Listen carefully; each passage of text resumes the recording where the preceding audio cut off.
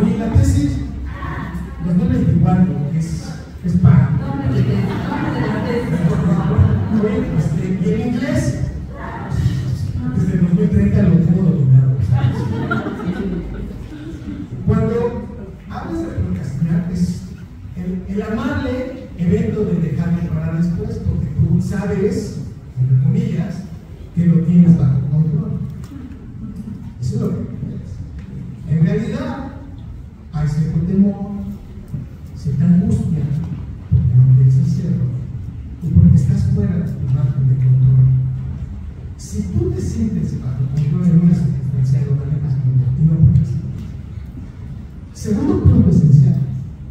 Yo, todo, todo, todo lo que platico, lo que viene en el libro, está publicado. Si ustedes dicen, yo creo que esto, ¿de dónde se saca la cosa? ¿no? Y eso es como todo el orégano de la casa. Tengo que decirles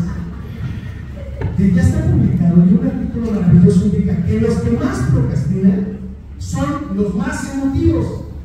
Entonces, oye, ya no. Ya lo dejo para después.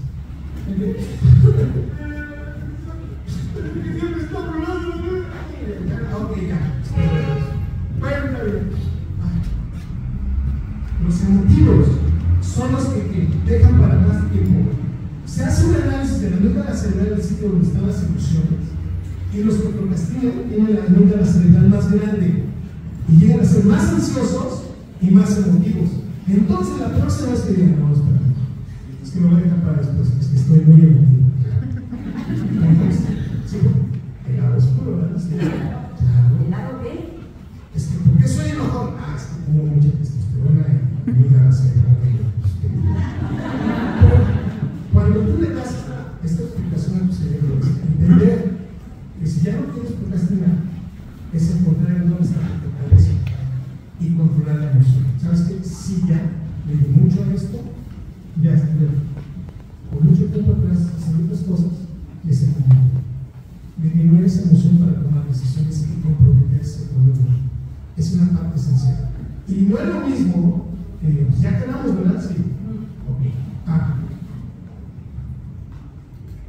ya quedamos. Esto es en nuestra sociedad. Liberar esa pasión. El físico. Y entonces al de. No, a ver, ven. Vamos a hacer esto y lo hacemos juntos. Y estoy contigo. Somos equipo. Esa certidumbre disminuye tanto el proceso te da oxitocina, cambias la regulación y la interpretación del círculo, generas una mayor actividad del hipocampo, podemos trascender pecamos directamente y se comprometió con Qué hermoso está eso, papá.